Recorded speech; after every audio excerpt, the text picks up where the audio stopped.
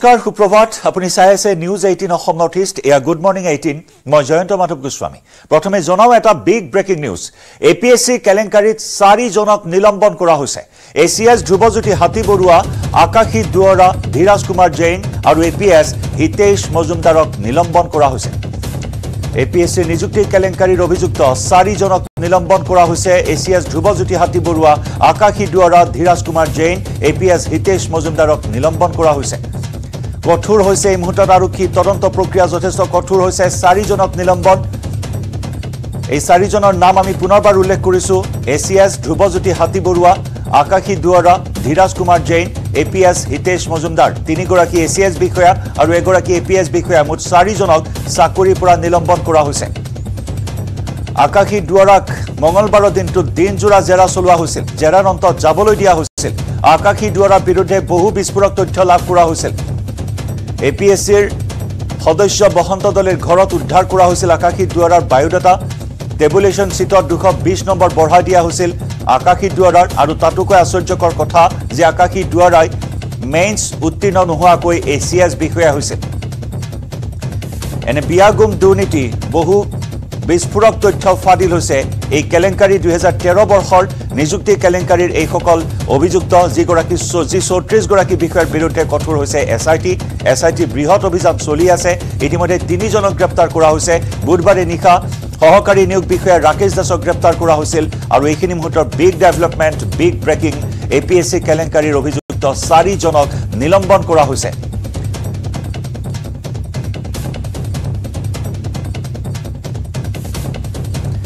আৰু ইফালে আজি আদালতত হাজিৰ হ'ব লাগিব A P S Sukanya Das আৰু A C S Dhiraj Kumar Jain.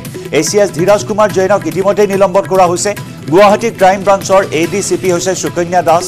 A P S Sukanya দাসৰ আঠখন উত্তৰ বহী লাভ কৰা হৈছিল।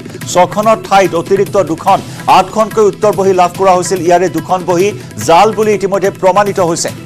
ইয়াৰ পূৰ্বে এ চি এছ আকাশী দুৱৰা আৰু ত্ৰিদীপ প্ৰয়োগ দিনজোৰা জেৰাৰ অন্তত যাবলৈ দিয়া হৈছিল।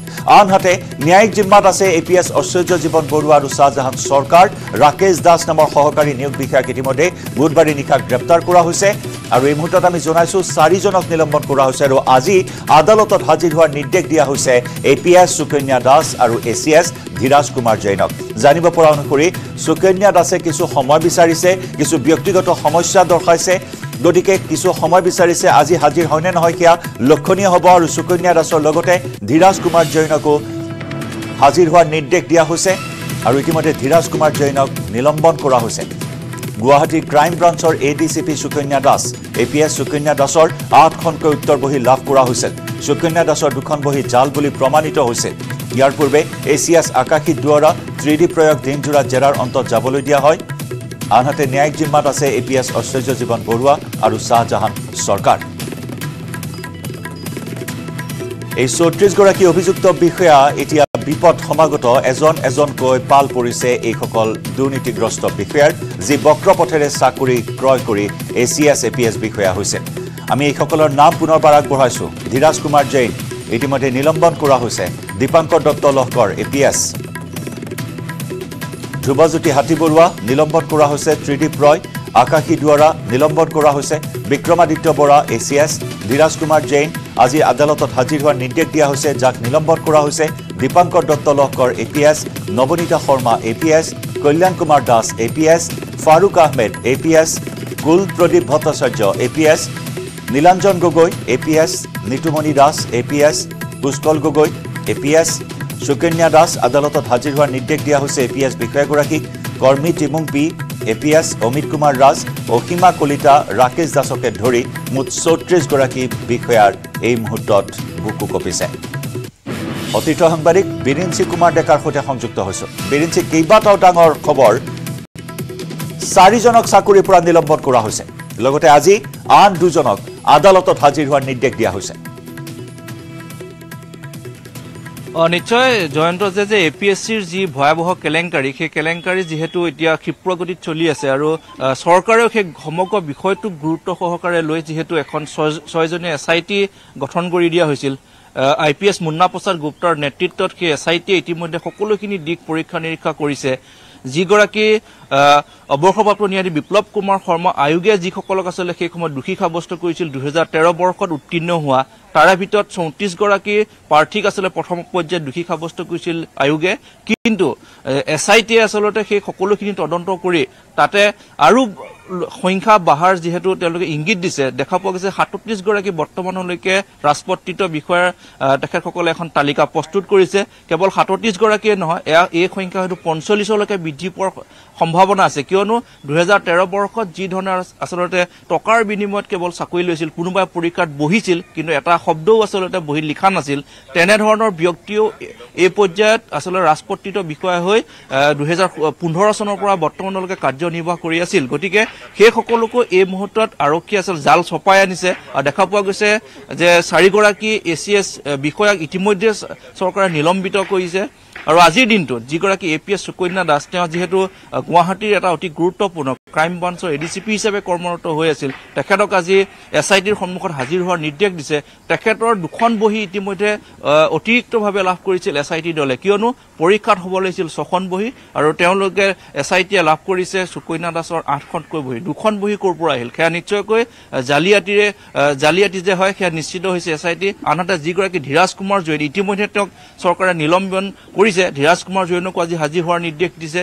আৰু দেখা গৈছে পৰ্যায়ক্ৰমে সকলোকে আচলতে এটা নিৰ্দিষ্ট সময়সীমাৰ ভিতৰত এছ আই টিৰ সন্মুখত হাজিৰ হৈ সুকন্যা তেওঁলোকৰ দাস হাজিৰ হোৱাৰ SIT ৰ কিমান যিসমূহ সম্ভাৱনা আছে?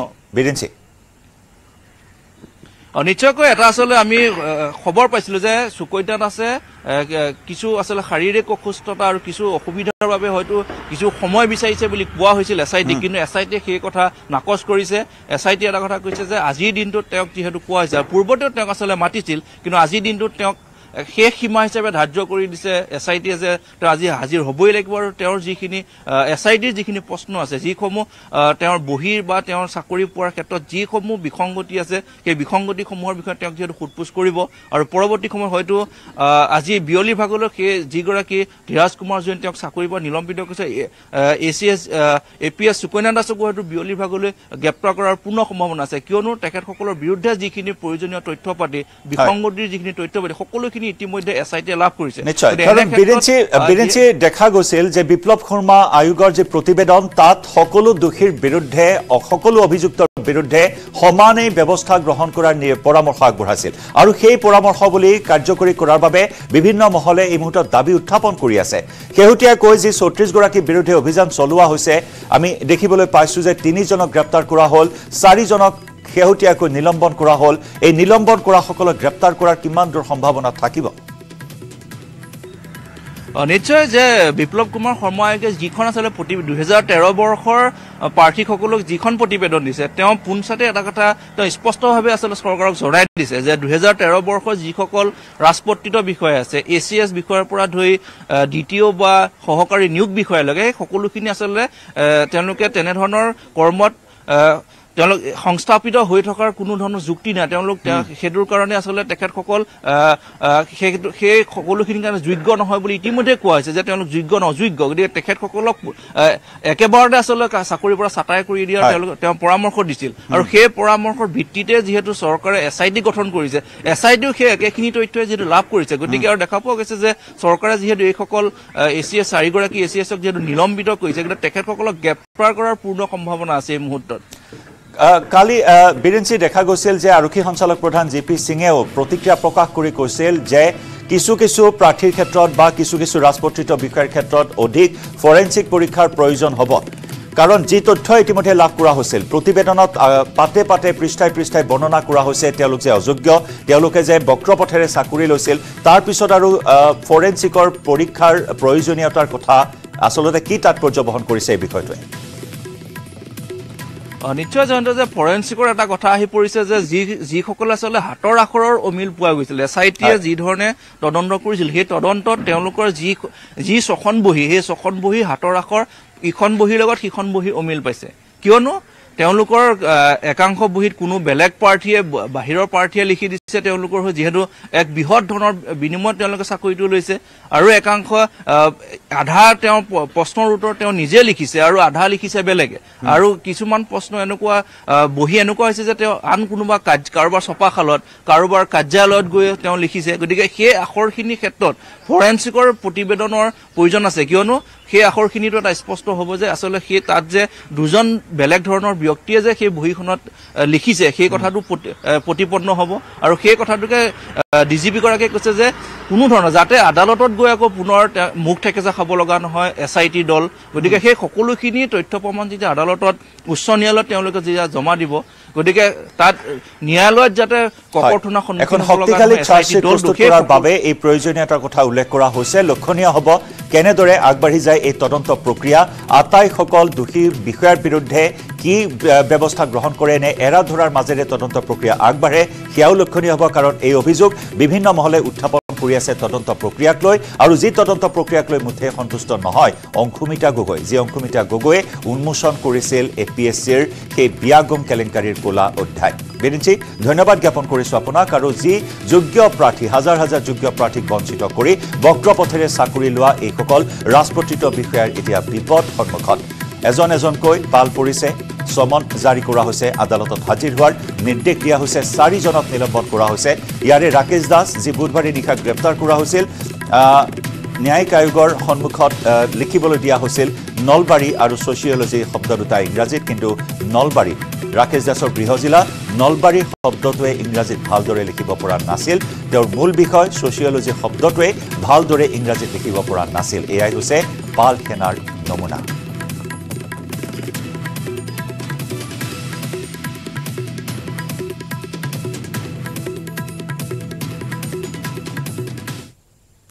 আগবাঢ়িছোঁ পৰৱৰ্তী খবৰলৈ।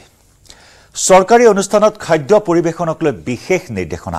এতিয়াৰে পৰা অনুষ্ঠানত কেৱল চাহ বিস্কুট পৰিৱেশনৰহে অনুমতি প্ৰদান। লগতে দিব পাৰিব বিশুদ্ধ খোৱা পানী। ৰাজ্যৰ সাধাৰণ প্ৰশাসন বিভাগে জাৰি কৰিছে নিৰ্দেশনা। বিলাসী আৰু খৰচী আপ্যায়ন নিষিদ্ধ কৰিলে চৰকাৰে। ৰাজ্যৰ চৰকাৰ চিম্পল চৰকাৰ নীতি লৈছে শৰ্মা চৰকাৰে। ৰাইজৰ চৰকাৰ চিম্পল চৰকাৰ এই নীতি হিমন্ত বিশ্ব শৰ্মা চৰকাৰৰ। আন এক গুৰুত্বপূৰ্ণ নিৰ্দেশনা। ইয়াৰ পূৰ্বেও এনে বহু কেতবোৰ নিৰ্দেশনা জাৰি কৰা হৈছিল চৰকাৰী অনুষ্ঠানত। ব্যয় সংকোচনৰ বাবে এনেধৰণৰ নিৰ্দেশনা জাৰি কৰা হৈছিল। এতিয়াৰে পৰা কেৱল চাহ বিস্কুট পৰিৱেশন কৰিব পাৰিব। চাহ বিস্কুটৰ পৰিৱেশনতহে অনুমতি প্ৰদান। লগতে দিব পাৰিব বিশুদ্ধ খোৱা পানী। ৰাজ্যৰ সাধাৰণ প্ৰশাসনে এই বিনিৰ্দেশনা জাৰি কৰিছে। বিলাসী আৰু খৰচী আপ্যায়ন নিষিদ্ধ কৰিছে চৰকাৰে। ৰাইজৰ চৰকাৰ চিম্পল চৰকাৰ নীতি লৈছে শৰ্মা চৰকাৰে।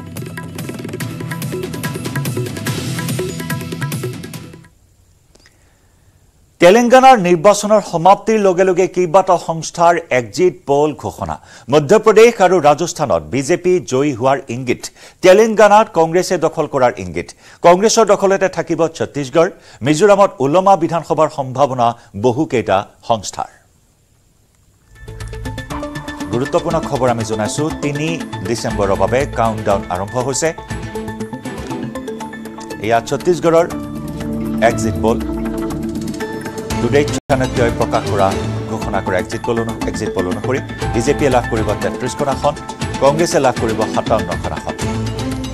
নব্বৈখন আসন বিশিষ্ট ছত্তীশগড়ত পুনৰ কংগ্ৰেছেই মচনদ দখল কৰিব বুলি টুডেইজ চাণক্যই প্ৰকাশ কৰিছে এক্সিট পল এইবাৰ আমি আগবঢ়াম মিজোৰামৰ এক্সিট পল চল্লিছখন আসন বিশিষ্ট মিজোৰামত পি মাৰ্কে ঘোষণা কৰা এক্সিট পল অনুসৰি এম এন এফে চৈধ্যৰ পৰা বিছখন আসন লাভ কৰিব জে পি এমে লাভ কৰিব নৰ পৰা পোন্ধৰখন আসন আৰু কংগ্ৰেছে লাভ কৰিব সাতৰ পৰা তেৰখন আসন। অৰ্থাৎ ওলমা বিধানসভাৰ এটা ইংগিত মিজোৰামত। আগবঢ়াম তেলেংগানাৰ এক্সিট পল এশ ঊনৈছখন আসন বিশিষ্ট তেলেংগানা যি কালি সম্পন্ন হ'ল। ভোটগ্ৰহণ। বি আৰ এছ সাতত্ৰিছৰ পৰা একাৱন্নখন আসন। বিজেপিয়ে এখন আসন আৰু কংগ্ৰেছে লাভ কৰিব আঠাৱন্নৰ আঠাৱন্নৰ পৰা এসত্তৰখন আসন। অৰ্থাৎ তৃতীয়বাৰৰ বাবে বি আৰ এছৰ চৰকাৰ গঠনৰ যি সপোন সেয়া ধূলিচাত হোৱাৰ ইংগিত দিয়া হৈছে। কংগ্ৰেছে এইবাৰ তেলেংগানাৰ মচনদ দখল কৰিব যি আঠাৱন্নৰ পৰা এসত্তৰখন আসন লাভ কৰিব বুলি ঘোষণা কৰা হৈছে। এইবাৰ আহিছোঁ আন এক গুৰুত্বপূৰ্ণ ৰাজ্য ৰাজস্থান। ৰাজস্থানৰ দুশখন আসন বিশিষ্ট ৰাজস্থানত পল ষ্টাৰ্টে যি এক্সিট পল প্ৰকাশ কৰিছে সেই অনুসৰি বিজেপিয়ে এশৰ পৰা এশ দহখন আসন লাভ কৰিব। কংগ্ৰেছে লাভ কৰিব বিৰান্নব্বৈৰ পৰা এশখন আসন আৰু অন্যান্যই পাঁচৰ পৰা পোন্ধৰখন আসন লাভ কৰিব। অৰ্থাৎ কংগ্ৰেছৰ শাসন ওফৰাই ৰাজস্থানত বিজেপিয়ে মচনদ দখল কৰিব বুলি উল্লেখ কৰা হৈছে। আইছো সকলোৰে দৃষ্টি নিবদ্ধ হৈ থকা মধ্যপ্ৰদেশৰ ওপৰত পি মাৰ্কে প্ৰকাশ কৰিছে এক্সিট পল দুশ ত্ৰিছখন আসন বিশিষ্ট। মধ্যপ্ৰদেশত বিজেপিয়ে লাভ কৰিব এশ তিনিৰ পৰা এশ বাইছখন আসন। কংগ্ৰেছেও লাভ কৰিব এশ তিনিৰ পৰা এশ বাইছখন আসন অন্যান্যই তিনিৰ পৰা আঠখন আসন।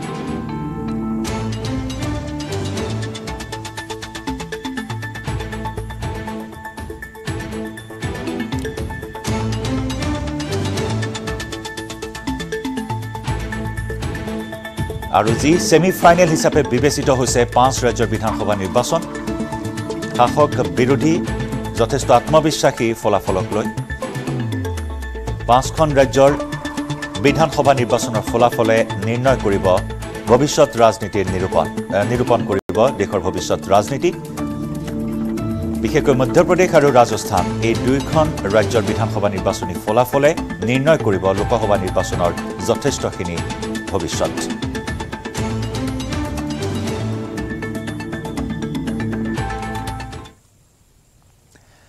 ৰাজ্যিক পৰ্যায়ৰ খবৰ আজি তিনিচুকীয়াৰ কনভেনশ্যন চেণ্টাৰত অনুষ্ঠিত হ'ব ডক্টৰ হিমন্ত বিশ্ব শৰ্মা চৰকাৰৰ কেবিনেট বৈঠক।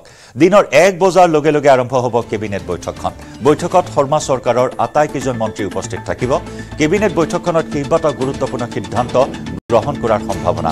কেবিনেট বৈঠকৰ পিছত সন্ধিয়ালৈ মুখ্যমন্ত্ৰীয়ে তিনিচুকীয়াৰ কচুজান খেলপথাৰত অনুষ্ঠিত হোৱা চাহ জনজাতি আৰু আদিবাসী ফুটবল খেলত অংশগ্ৰহণ কৰিব। প্ৰস্তুতি তুংগত এই মুহূৰ্তত আমি দেখুৱাইছোঁ প্ৰস্তুতি পৰ্ব তিনিচুকীয়াৰ কনভেনশ্যন চেণ্টাৰত অনুষ্ঠিত হ'ব। ডক্টৰ হিমন্ত বিশ্ব শৰ্মা চৰকাৰৰ কেবিনেট বৈঠক। দিনৰ এক বজাৰ লগে লগে আৰম্ভ হ'ব বৈঠকখন।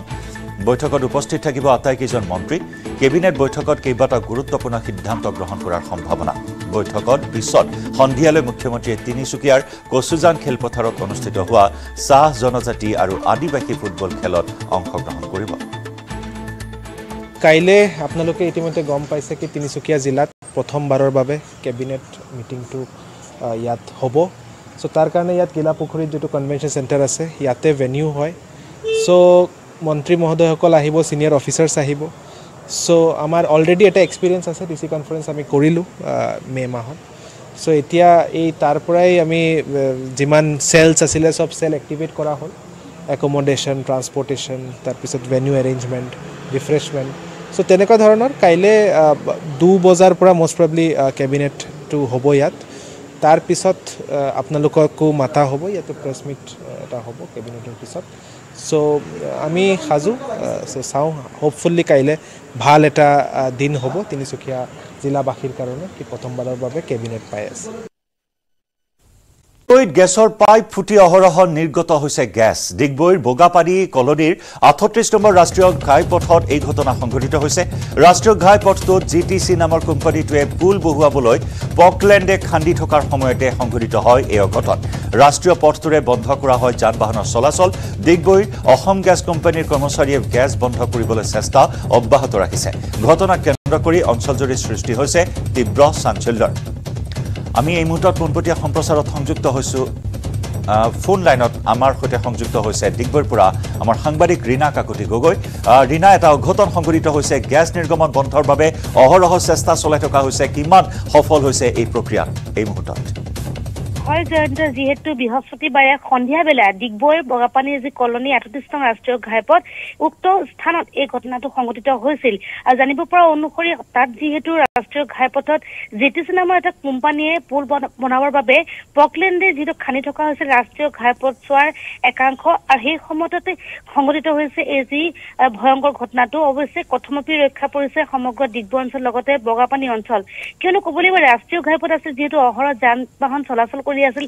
ঠিক তেনে সময়তে হঠাৎ এই গেছৰ যি পাইপ এই পাইপ ফুটি অহৰহ গেছ নিৰ্গত হয় আৰু প্ৰকাণ্ড এক ভয়ংকৰ যি শব্দ এই শব্দ বহু দূৰলৈকে যিটো তাত পলিউশ্যন প্ৰদূষণ যিহেতু কৰিছিল আৰু সেই উক্ত স্থানৰ কাষতে যিটো বহু লোকৰ বাস কৰা ঘৰ আছিল।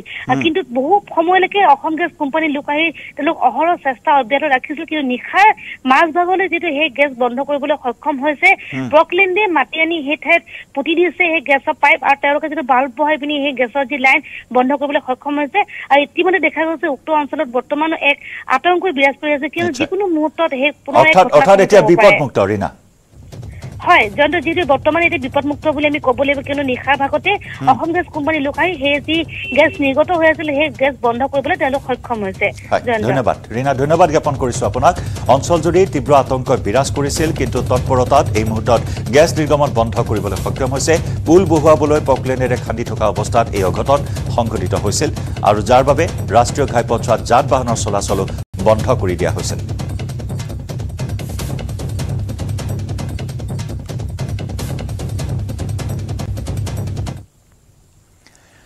মহানগৰীত পুনৰ নকল সোণ আৰু নকল টকা জব্দ। জালুকবাৰী উৰণীয়া সেতুৰ তলত আৰক্ষীৰ অভিযান। আৰক্ষীৰ জালত পৰিছে এজন লোক ধৃত লোকজন লখিমপুৰৰ আটোৱাৰ ৰহমান। আৰক্ষীৰ অভিযানত জব্দ হোৱা নকল সোণখিনিৰ ওজন প্ৰায় এক কেজি তিনিশ গ্ৰাম আৰু প্ৰায় ঊনত্ৰিছ হাজাৰ টকাৰ জাল নোট জব্দ কৰা হৈছে। এখন নৈশ বাছত লখিমপুৰৰ পৰা গুৱাহাটীলৈ অনা হৈছিল নকল সোণ আৰু নকল টকা। ধৃত আটোৱাৰ ৰহমানে এই নকল সোণ আৰু জাল নোটখিনি গুৱাহাটীৰ পৰা বহিৰাজ্যলৈ লৈ যোৱাৰ পৰিকল্পনা কৰি থকা অৱস্থাত জালুকবাৰী আৰক্ষী চকীৰ বিশেষ সূত্ৰ পম খেদি আটক কৰিবলৈ সক্ষম হয় এই সৰবৰাহকাৰীক দেখুৱাইছো এয়া নকল সোণ নকল সোণৰ নাও আৰু ঊনত্ৰিছ হাজাৰ জাল নোট জব্দ কৰা হৈছে। ঘাটি হৈছে লখিমপুৰ। লখিমপুৰত অবাধ হাৰত এতিয়াও অব্যাহত আছে জাল নোট আৰু নকল সোণৰ সৰবৰাহ। গুৱাহাটীতো এতিয়া এই ঘাটি সম্প্ৰসাৰিত হোৱা পৰিলক্ষিত হৈছে। জন্মনি ৰাভাৰ মৃত্যুৱে উন্মোচিত কৰিছিল এই ক'লা অধ্যায় ক'লা সাম্ৰাজ্যৰ কথা কিন্তু এতিয়াও লখিমপুৰ আৰক্ষী সফল হ'ব পৰা নাই। এই জাল নোট সৰবৰাহকাৰী চক্ৰক উৎখাত কৰিবলৈ নকল সোণৰ মাফিয়াক উৎখাত কৰিবলৈ।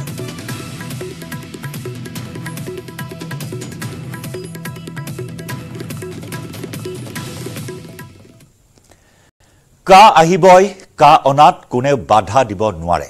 পশ্চিমবংগৰ মুখ্যমন্ত্ৰীক উদ্দেশ্যি এই মন্তব্য আগবঢ়ালে এইবাৰ কেন্দ্ৰীয় গৃহমন্ত্ৰী অমিত শ্বাহে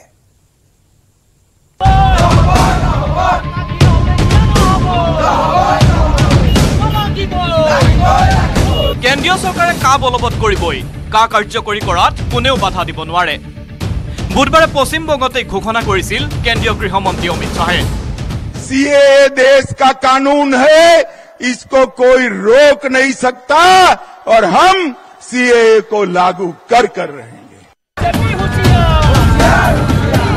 কেন্দ্ৰীয় গৃহ ৰাজ্যমন্ত্ৰী অজয় কুমাৰ মিশ্ৰই কা বলবৎকৰণক লৈ মন্তব্য কৰোঁতেই প্ৰতিক্ৰিয়াত সৰব হৈ উঠিছিল ৰাজ্যৰ দল সংগঠন এইবাৰ কা বলবৎকৰণক লৈ দৃঢ় স্থিতি প্ৰকাশ কৰিলে খুদ কেন্দ্ৰীয় গৃহমন্ত্ৰীয়ে आसाम की जनता ने भाजपा सरकार बना दी आसाम की सरहदों से परिंदा भी पैर नहीं मार सकता बंगाल में सोशल मीडिया पर कोई रख रहा है कि अगर घुसपैठ कर कर आए हो और आधार कार्ड चाहिए, वोटर कार्ड चाहिए तो इस नंबर पर संपर्क करिए। बंगाल पुलिस चुप।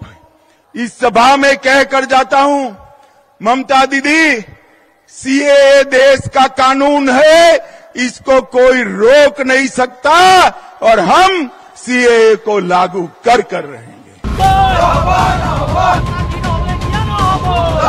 ইফালে অমিত শ্বাহৰ মন্তব্যৰ পিছতে তীব্ৰ প্ৰতিক্ৰিয়া শিৱসাগৰ সমষ্টিৰ বিধায়ক অখিল গগৈৰ অমিত শ্বাহৰ মন্তব্যক গৰিহণা দি কা আহিলে পুনৰ আন্দোলন কৰাৰ হুংকাৰ দিলে অখিল গগৈয়ে। অমিত শ্বাহ ডাঙৰীয়াই যি বক্তব্য প্ৰদান কৰিছে যে কা ভাৰতত বলবৎ কৰা হ'ব কোনেও বিজেপিক কা বলবৎ কৰিবলৈ বাধা দিব নোৱাৰে। আমি তাক তীব্ৰ নিন্দা কৰিছোঁ আৰু এই বক্তব্যক আমি হিটলাৰী বক্তব্য বুলি প্ৰকাশ কৰিব খুজিছোঁ কোনো পধ্যে আমি কা বলবৎ হ'বলৈ দিব নোৱাৰোঁ। আমি যুঁজিম। দৰকাৰ হ'লে আকৌ আন্দোলনত নামিম। কিন্তু কা কেতিয়াও অসমত বলবৎ কৰিবলৈ নিদিওঁ অসমীয়াই কা বলবৎ কৰি অসমত কোনো বিদেশী হিন্দু মুছলমান খ্ৰীষ্টান জৈন বৌদ্ধ শিখ যি ধৰ্ম যি জাতিৰে নহওক লাগিলে কোনো বিদেশীক আৰু নতুনকৈ এজনকো গ্ৰহণ কৰিব নোৱাৰোঁ। এইটো স্পষ্ট কৰি দিছোঁ। ইফালে কা বলবৎ কৰিবই বুলি কেন্দ্ৰীয় গৃহমন্ত্ৰী অমিত শ্বাহে ভাষ্য আগবঢ়োৱাৰ পিছতেই প্ৰতিবাদ মুখৰ হৈছে শিৱসাগৰ। শিৱসাগৰ দলমুখ চাৰিআলিত ছাত্ৰ মুক্তি সংগ্ৰাম সমিতিয়ে উত্তাল শ্লোগানেৰে সাব্যস্ত কৰে প্ৰতিবাদ। শিৱসাগৰৰ পৰা প্ৰদীপ গগৈৰ report News Eighteen Assam North East. আৰু ইফালে চি এ এক লৈ প্ৰতিক্ৰিয়া প্ৰকাশ কৰিছে মুখ্যমন্ত্ৰী ডক্টৰ হিমন্ত বিশ্ব শৰ্মাই। কাৰ ওপৰত কাৰ বৈধতাক লৈ আছুৰ পৰা আৰম্ভ কৰি সকলো দল সংগঠনে উচ্চতম ন্যায়ালয়ত ইতিমধ্যে গোচৰ তৰিছে। আৰু ময়ো বিচাৰোঁ যে উচ্চতম ন্যায়ালয়ে অতি ক্ষিপ্ৰতাৰে এই বিষয়ে শুনানি কৰি আমাক এটা সিদ্ধান্ত দিব লাগে। গতিকে মই ভাবোঁ যিহেতু উচ্চতম ন্যায়ালয়ত গোটেই গোচৰটো বিচাৰাধীন হৈ আছে গতিকে আমি উচ্চতম ন্যায়ালয়ৰ ৰায়ৰ বাবে অপেক্ষা কৰা উচিত। আমি তৎকালীন প্ৰতিক্ৰিয়া প্ৰকাশ কৰাৰ মোৰ মধ্যেৰে কোনো প্ৰয়োজন নাই। গৃহমন্ত্ৰী ডাঙৰীয়াৰ যিটো পশ্চিমবংগৰ বক্তব্য সেই বক্তব্যটো আমি সকলোৱে জানো বিজেপি যে কাৰ সমৰ্থনত আছে সেইটোতো কোনো লুকাই থকা কথা নহয়। গৃহমন্ত্ৰী ডাঙৰীয়াই আজি কোৱা নাই বহুতবাৰ কৈছে যোৱা পাঁচ বছৰত যে কাক আমি সমৰ্থন কৰোঁ। মই বহুতবাৰ কৈছোঁ গতিকে বিজেপিৰ যিটো কাৰ ওপৰত আমাৰ সমৰ্থন আছে সেইটোতো সৰ্বজন বিদিত সেইটোতো গৃহমন্ত্ৰী ডাঙৰীয়াই আজি কোৱা নাই। পশ্চিমবংগত তেওঁ মিনিমাম এই কথাটো পোন্ধৰ বাৰ কৈছে। মই অসমত পঞ্চাছ বাৰ কৈছোঁ। কিন্তু তাৰ পিছতো আমি এটা কথা কওঁ যে আমি আছুৰ বিৰোধিতাটোও জানো বিজেপিৰ সমৰ্থনটোও জানো। কিন্তু বিবেচনাটো ছুপ্ৰিম কোৰ্টত হ'ব উচ্চতম ন্যায়ালয়ত হ'ব। মই ক'লোতো মই যদি ক'লো মই কাৰ সমৰ্থন? কালি যদি ছুপ্ৰিম কোৰ্টে কয় নহয় কা অবৈধ মই কিবা কৰিব পাৰিম জানো? মহানগৰীত ইগৰাকীৰ পিছত সিগৰাকী যুৱতীৰ মৃতদেহ উদ্ধাৰ হৈছে। এইবাৰ হাতীগাঁৱত প্ৰেমিকৰ সৈতে লিভিনত থকা যুৱতীৰ মৃতদেহ উদ্ধাৰ। ঋতিকা সোণাৰ নামৰ মেঘালয়ৰ এগৰাকী যুৱতীৰ মৃতদেহ উদ্ধাৰ হয়। ঘটনাত হাতীগাঁৱৰ কাছা লিমিটেডৰ এপাৰ্টমেণ্টত উদ্ধাৰ কৰা হয় মৃতদেহ। ৰূপেশ ৰয় নামৰ পশ্চিমবংগৰ এজন যুৱকৰ সৈতে আছিল ঋতিকা। দুয়োজনে একেলগে আছিল বহুদিনৰ পৰা। সম্প্ৰতি গুৱাহাটী মেডিকেল কলেজত ৰখা হৈছে যুৱতীগৰাকীৰ মৃতদেহ।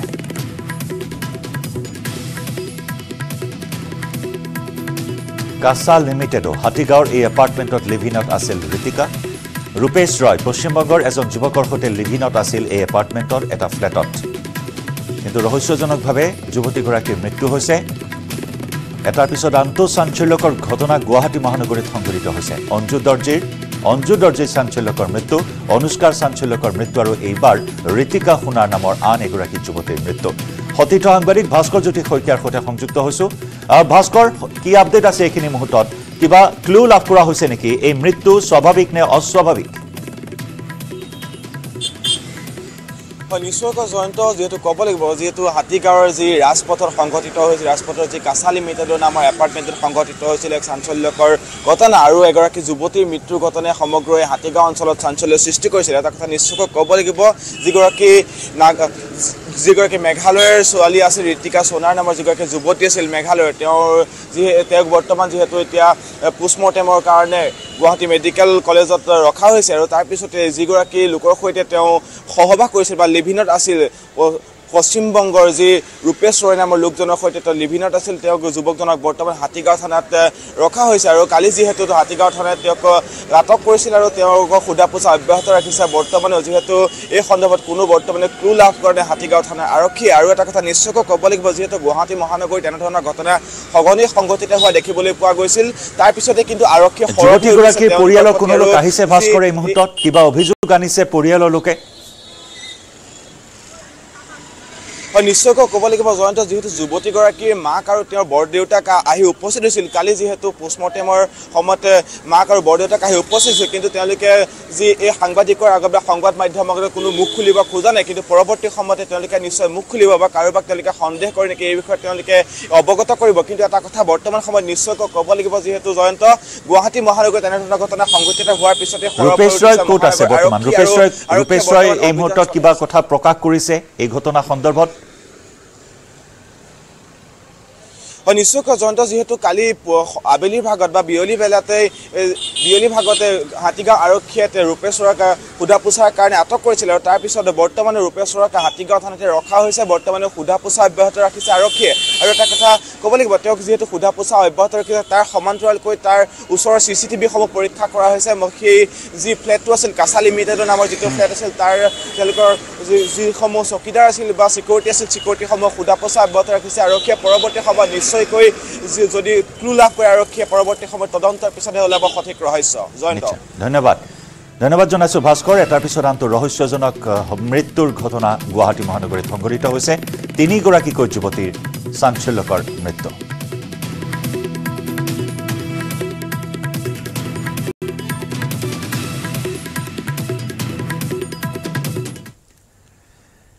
সমাগত লোকসভা নিৰ্বাচন। লোকসভা নিৰ্বাচনক লৈ কংগ্ৰেছে পাতিছে এখনৰ পিছত সিখন সভা। নিৰ্বাচন সন্দৰ্ভত বিৰোধী ঐক্যৰ সৈতেও বৈঠকত মিলিত হৈছে কংগ্ৰেছ। ডিব্ৰুগড়ত বৃহস্পতিবাৰৰ পৰা দুদিনীয়াকৈ অনুষ্ঠিত হৈছে বিৰোধী ঐক্য সভা। তাৰ মাজতে একাংশ জ্যেষ্ঠ কংগ্ৰেছীৰ মাজত দেখিবলৈ পোৱা হৈছে মতানৈক্য। দলৰ সাংসদে নাজানে উপদলপতিয়ে কি কৰি আছে। সাংসদ প্ৰদ্যুৎ বৰদলৈয়ে নাজানে ৰকিবুল হুছেইনে কি কৰি আছে। পি এছ চিৰ অধ্যক্ষ পদক লৈও অসন্তুষ্টি প্ৰকাশ কৰিছে বিভিন্নজনে। কমলাক্ষদেৱ পুৰস্কাৰস্থই প্ৰকাশ কৰিছে অসন্তুষ্টি পি এছ চিৰ অধ্যক্ষ পদক লৈ।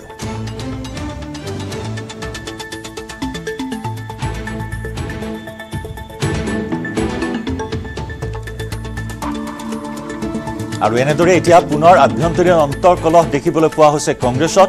পি এছ চি কমিটিত বিৰোধী দলপতি দেৱব্ৰত শইকীয়াৰ নাম বাদ দি কংগ্ৰেছ দলৰ জুনিয়ৰ নেতা নুৰুল হুদাৰ নাম সন্নিৱিষ্ট কৰাক কেন্দ্ৰ কৰি অসন্তুষ্টি বৃদ্ধি পাইছে কংগ্ৰেছৰ ভিতৰ চৰাত। প্ৰতিক্ৰিয়া প্ৰকাশ কৰিছে প্ৰদেশ কংগ্ৰেছৰ কাৰ্যকৰী সভাপতি কমলাক্ষদেৱ পুৰকাষ্ঠই চিৰাচৰিত প্ৰথা জলাঞ্জলি দি শাসকীয় পক্ষই নিজৰ মুনাফা লাভৰ স্বাৰ্থত বিৰোধী দলপতিৰ নাম পি এছ চি কমিটিৰ পৰা বাদ দিছে বুলি অভিযোগ কমলাক্ষৰ। যেতিয়া চেয়াৰমেন নমিনেট কৰা হয় তেতিয়া স্পীকাৰে গভৰ্ণমেণ্টৰ লগত কথা বাৰ্তা পাতি কেনে? স্পীকাৰ স্পীকাৰে নমিনেটটো কৰে চেয়াৰমেন নমিনেট কৰে। কিন্তু কথাটো হৈছে কি এই পাব্লিক একাউণ্টছ কমিটিয়ে যে কিমান ক'ত কিমান খৰচ হৈছে কি আশয় বিষয় গোটেই কথাখিনি সিহঁতে মিটিং পাতি কেনে অধ্যয়ন কৰে কৰিছে হাই লেভেল এটা কমিটি এটা বিধানসভাৰ কমিটি হয়। কিন্তু এই কমিটিৰ সদায় আমি দেখিছো যে যেতিয়াই অপজিশ্যন লিডাৰ এই বিধানসভাৰ মানে এই পাব্লিক একাউণ্টছ কমিটিৰ চেয়াৰমেন হয়। প্ৰত্যেকটা ষ্টেটত এনে এনেকা হৈ আছে। কিন্তু অসমত এনে এটা পৰিৱেশ হৈছে যে যদি বিধানসভাত যদি বিৰোধী দলৰ দলপতিৰ নামটো ইলেক্ট হৈছে কিন্তু তেওঁৰ নামটো চেয়াৰমেন নমিনেট নকৰি কেনে বেলেগ এজনৰ নাম নমিনেট কৰা হ'ল তাৰ মানেটো কি? মানেটো হৈছে চেয়াৰমেন হিচাপে যদি বিধানসভাত যদি বিৰোধী দলৰ দলপতিৰ নামটো যদি নমিনেট কৰা হয় তেনেহ'লে কথাখিনি কৈ দিব তেওঁ প্ৰশ্ন কৰিব পাৰিব। তেওঁ একাউণ্টছ কমিটিৰ কি ক'ত কি খৰচ হৈছে ভালকে ধৰিব পাৰিব। ইটো নকৰি কেনে সিহঁতে এজন এজনৰ নাম দিলে। আমাৰ দাবী আছিলে যে বিধানসভাত যেতিয়া আমাৰ বিৰোধী দলৰ লিডাৰ হয় তেওঁৰ নামটো যেতিয়া গৈছে তেওঁৰ নামটো কিয় কিয় নিদিয়া হ'ব বাৰু? তাৰ কথাটো তাৰ মানে কথাটো হৈছে কি এইখন বিধানসভাত এনে এটা পৰিৱেশ হৈছে অসম অসমৰ গভমেণ্টৰ এনে এটা পৰিৱেশ হৈছে যে নাই আপুনি কোনো পধ্যে গভমেণ্টৰ এগেইনষ্টত মাত মাতিব নোৱাৰিব। গভমেণ্টৰ এগেইনষ্টত যদি মাত মাতে তেনেহ'লে চি এম বিজনেছ লগোৱা হ'ব। গভমেণ্টৰ বিৰুদ্ধে যদি মাত মাতে তেনেহ'লে আপুনি চেয়াৰমেন দোৱা নহ'ব গভমেণ্টৰ বিৰুদ্ধে যদি মাত মাতে যদি তেনেহ'লে আপোনাক হেয় প্ৰতিপন্ন কৰা হ'ব আপোনাক লাঞ্ছিত কৰা হ'ব বঞ্চিত কৰা হ'ব তাৰ মানে কি গভমেণ্টৰ এগেইনষ্টত আপুনি কথা ক'ব নোৱাৰিব হিটলাৰী শাসন চলি আছে আৰু